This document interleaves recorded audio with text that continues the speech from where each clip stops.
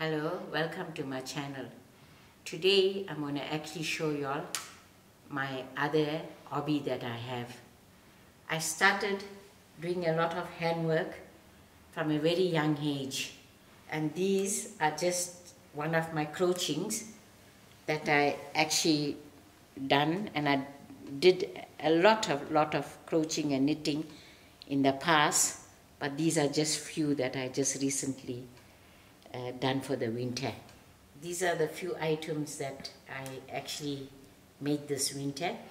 Uh, this is a hat with a beautiful flower in the center and then another hat which can give you a lot of shade when you're outside and this is another hat that has its own scarf so it's actually called the hat with the scarf and there's another beautiful hat that's actually made with little ears. You normally find the little children's using these types. Yes and this is also another top. When tops became in fashion where the uh, the back is sort of uh, longer than the front. So these this top was made with a finer needle. Uh, this is one of a throwaway over your t-shirts. It's actually joined into two squares that I made. Very simple. And uh, I joined the squares and then I formed a hand for your hands and then the neck hole. And then to bring it together, I put in a drawstring. So when using a long sleeve uh, tops inside for the winter, can just use this as a throw on the top. These are the needles that I'm very fond of to do crocheting. This is for a slightly thicker wool. This is for the medium wool and this is for actually for doing cotton. I did a lot of uh, cotton doilies and uh, tea coasters. I like to give out my items as gift because when gifting a person I feel it's part of me and my beautiful work for them. Uh, Ma, what size needles you got there?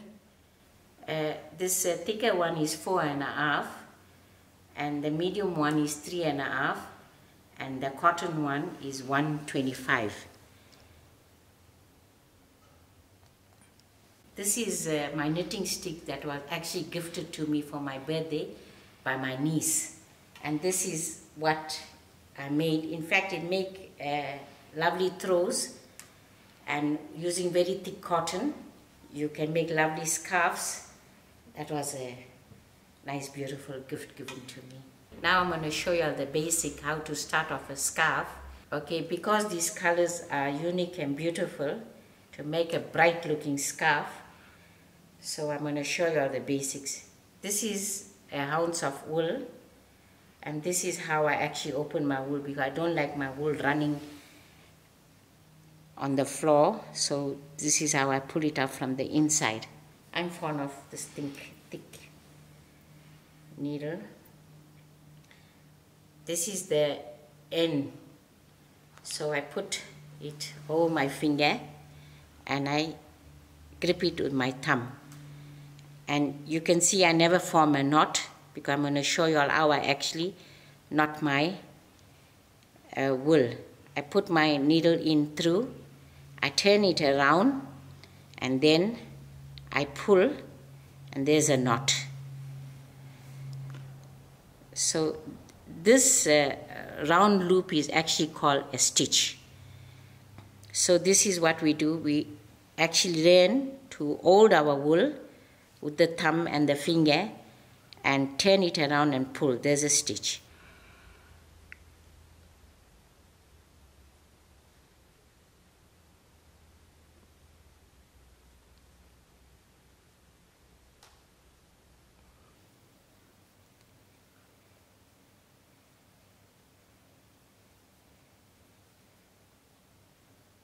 Okay I'll go very slow again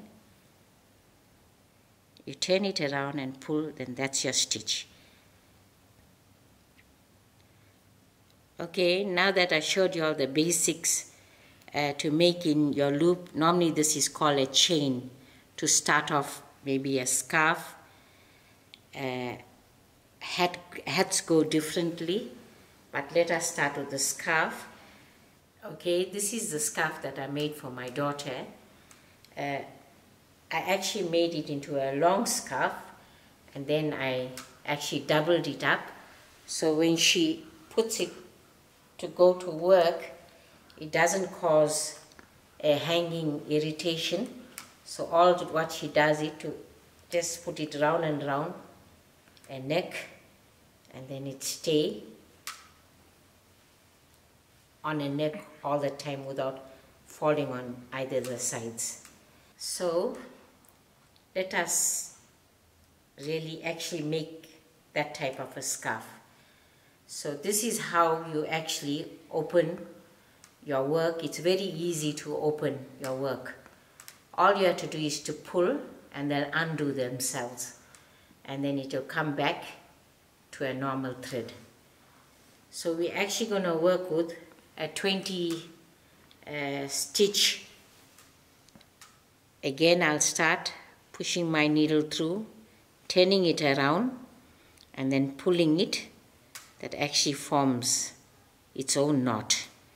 So that is one, two, three, four, five, six, seven, eight, nine, ten, eleven, twelve, thirteen, fourteen, fifteen, sixteen. 17, 18, 19, 20. So this is looking quite small because the wool is slightly thinner. So let us go for more. Maybe give it another. Let's go for an even number. That will be about 28. So that's 20, 21, 22, 23, 24, 25, 26, 27, 28. This is what the chain is called and I think this size is okay to start our scarf. Uh, you can actually go looser on your chain but if you can pull it tighter it's it will give a firm finish. So now although I have 28 I'm going to pull another two chain and then go into my 28th loop. And this is how we start a stitch. The pattern will come after when I show you how you normally start a stitch. I have three loops on my needle. Then I will turn my my string. I pull in two and then I have another two. Then I do it again and pull till I get a single. So this is a stitch. So again I turn and I will go exactly into the next hole and pull. And thereafter I'll do the very same thing. That's two. And that's a single. And then we can do continue so it will all come to one single you can see one single but you have to do every loop in the same manner you go into a loop, you pull, you have three, and you pull, and then you have two, then you come into a single. This is the basics of crocheting.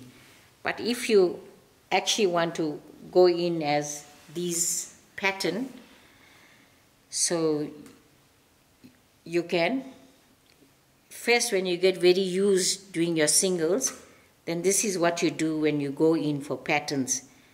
If you want to put two into one loop, so you miss two chain and then you go into the second so it doesn't cause it gathering up too many instead of coming if you gather it up too many it becomes too flare so this is a pattern.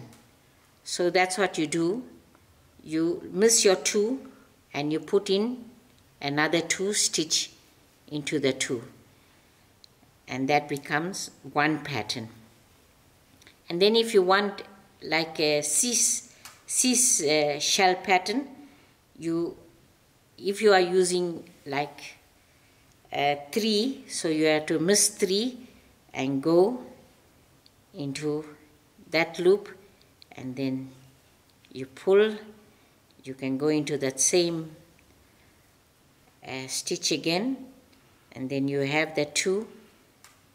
Then you can if you're using making a seashell then you add a chain then you go into the same loop again and you do the same thing as first but going four times into one stitch so you see this actually forms. It's more like this how it forms a shell. Uh, if you actually come to work with the basics then you can actually buy pattern books and follow up. If you know the basics then you can actually follow up a lot of patterns. How you learned all of this ma? Uh, I was quite a young girl when I should uh, actually play around making uh, knitting sticks with wires, with thick uh, wires and making it form into knitting sticks and play with a lot of wool.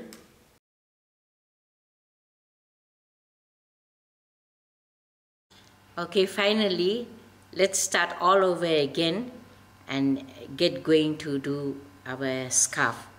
This is how again my fingers I place my wool and grab it with my thumb and then in goes my needle in this way and turn it all around and then pull it out.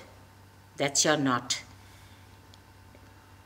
Okay and that's a loop of one two three four, five, six, seven, eight, nine, ten, eleven, twelve, thirteen, fourteen, fifteen, sixteen, seventeen, eighteen, nineteen, twenty, twenty-one, twenty-two, twenty-three, twenty-four, twenty-five, twenty-six, twenty-seven, twenty-eight but we're going 30 to make the other two stand as a chain.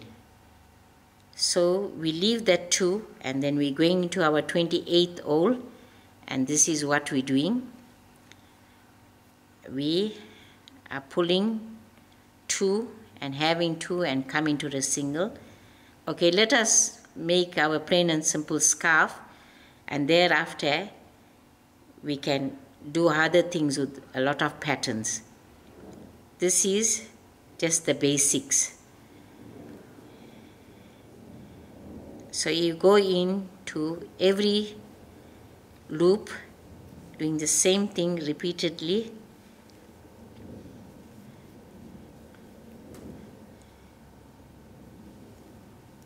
I am going very slow, then you can watch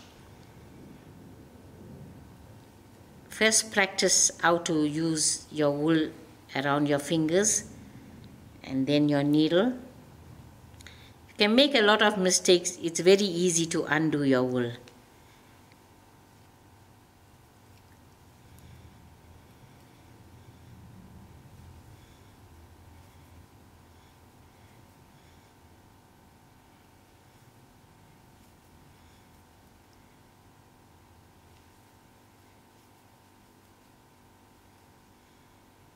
You can see it has uh, different colors coming in so you don't have to use different types of wool. You use your same wool with different colors in it.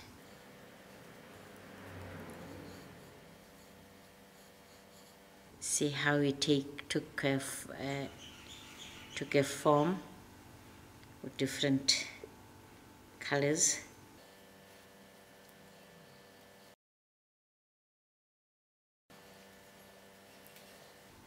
you will take notice that my ball of wool is not bouncing around because it's actually opening from the inside out.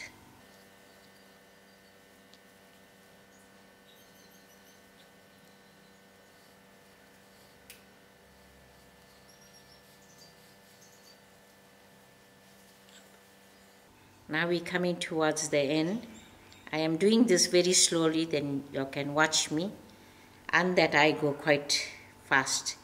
Actually I actually watch TV and do my crocheting too. So this is the end. You can see this is one row of my crocheting now I had to go upwards. So I make a this is the end. I make an extra chain.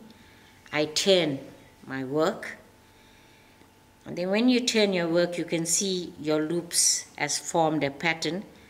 So you are going to use the same loops. So that's the end and then there's the first loop.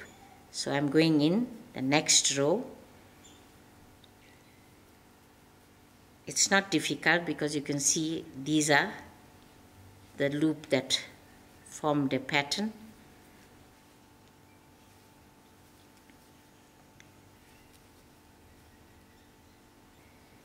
okay I'm on the next end.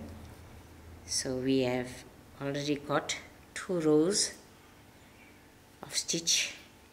You can see. So we use the extra loop and then we turn our work. So you can see the loops are made in this. So it's not difficult. So you push it push it into the same loops there's another color that's coming in now So I found this wool in a local wool shop. I think it's called the Yarn Tree. Um, each uh, 100 gram uh, ball of yarn is 27 rand. And my mom says it's going to take about two balls of yarn to make a scarf, which will then be basically a scarf for 55 rand well and all the effort that goes into knitting the scarf. But the moment you cut uh, use with your placing of your needle and the thread, it don't take much of uh, your time. Then you get so used that you just, when you get started with something, you will really want to complete it. Then there's another end. You can see this is going to be the size of the scarf. And there's another end. We pull in a chain and turn it around. With so many different types of colors, it's going to make a very beautiful scarf. And the, when we're finishing off, we can actually edge it off with some pattern and it will look cute. Okay, I'm almost done with the 100 gram of uh, wool and I'm going to join in another 100 gram but you can see how far the 100 gram has taken me to and uh, this is the length maybe it's one and a half we are actually going for two meters yeah so what I'm going to do is to actually show you all how I join in my next uh, wool to the same wool. We usually do it towards, when we're going towards the end of a line.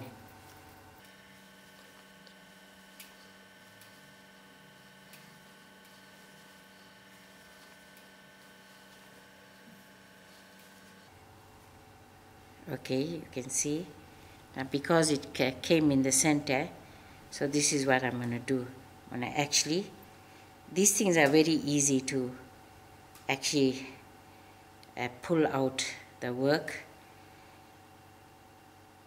Okay then I'm going to break my wool. And as I showed you how I pull my wool from the inside so I'm going to join. Yeah, we actually make a knot. Now why we do it in the sides? So when we edging our scarf it goes way in between uh, the work.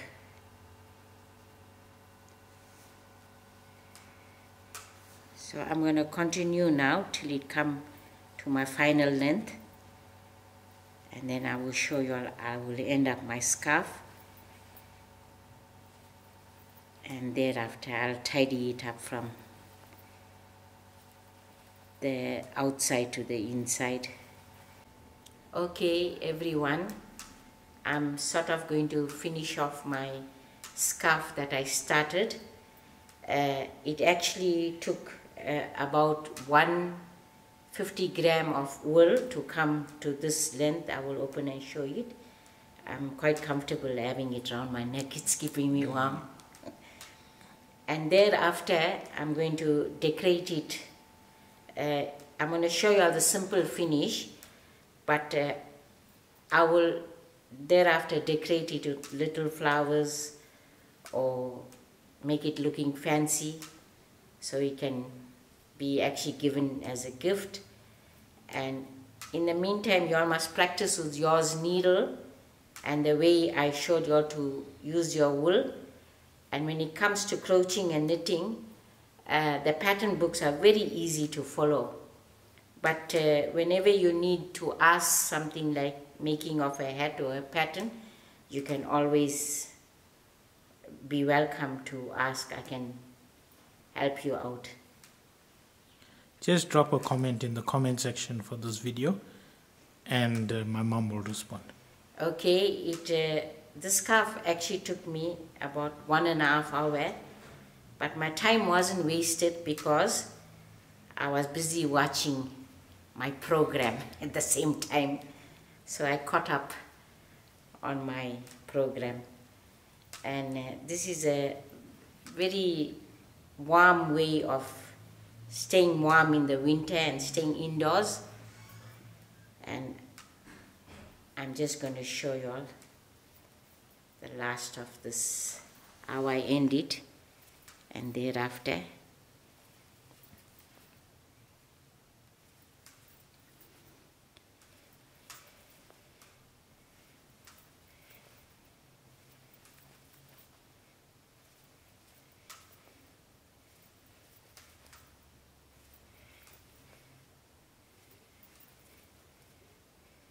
okay here comes the end of the scarf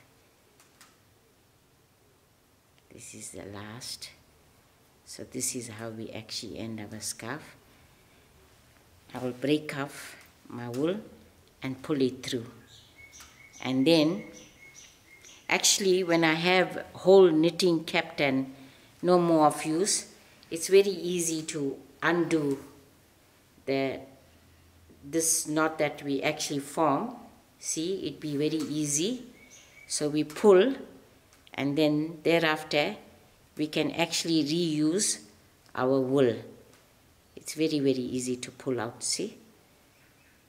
And then it's very easy to reuse use the same wool from an old crocheting or knitting and it comes way back brand new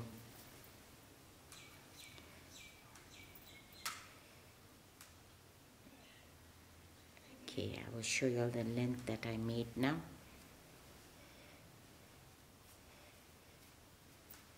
And I'll tidy it up and then I'll ribbon it. And whoever's birthday or someone coming near coming to visit us they'll have a nice lovely gift. You can see this is the plain and simple scarf that I showed you.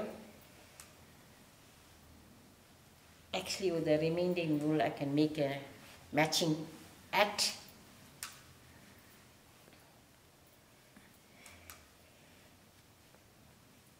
There you are. Thanks for watching.